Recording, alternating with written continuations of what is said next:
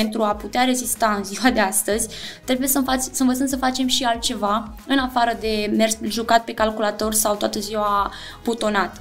Avem copii care au început să facă meșteșuguri, se duc la împletituri și la cusătură.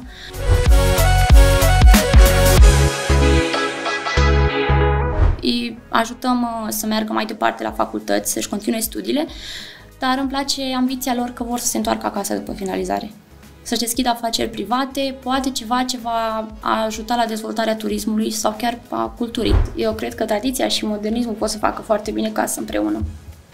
Nu pot să rămân agățată de tradițional limbi și să întorc spatele modernismului, dar nici să merg modernist, că asta ar însemna să renunț la absolut tot ceea ce înseamnă tradițional. Și cred că pot fi combinate foarte bine.